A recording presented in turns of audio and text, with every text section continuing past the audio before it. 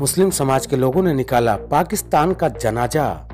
पाकिस्तान के खिलाफ फैला आक्रोश कम होने का नाम नहीं ले रहा है। भारत, नेपाल सीमा रुपैडिया पर सैकड़ों की संख्या में मुस्लिम समाज के लोगों ने शुक्रवार को नमाज़ के बाद सड़क पर पाकिस्तान का जनाजा निकालते हुए आतंकियों और पाकिस्तान के खिलाफ सख्त कार्रवाई की मांग करते हुए जमकर नारेबाजी की।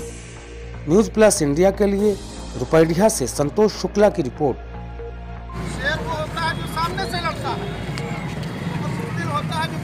हिंदुस्तान जिंदाबाद। जिंदाबाद जिंदाबाद। हिंदुस्तान जिंदाबाद। जिंदाबाद जिंदाबाद। उन लोगों ने कायराना हमला करके जो है क्या बोलते हैं हमारे चालीस से जायद फौजियों को शहीद कर दिया अब उनको अपनी मस्जिद की जानब से अपने भाइयों की जानब से जो है फिराज तहसील जो पेश करते हैं।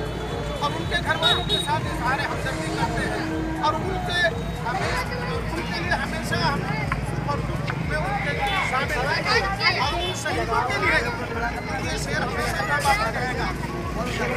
के मज़ारों पर लगेंगे हर बरस मेले शहीदों की मज़ारों पर लगेंगे हर बरस मेले वतन पर मरने वालों का यही बाकी क्या बात है? जिंदाबाद जिंदाबाद।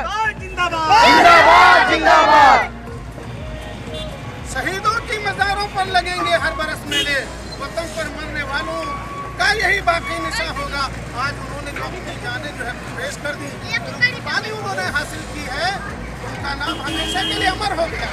आज उनको हम याद करने के लिए तो यहाँ खड़े हुए हैं। हिंदुस्तान जिंदाबाद। जिंदाबाद जिंदाबाद। हिंदुस्तान जिंदाबाद। जिंदाबाद जिंदाबाद।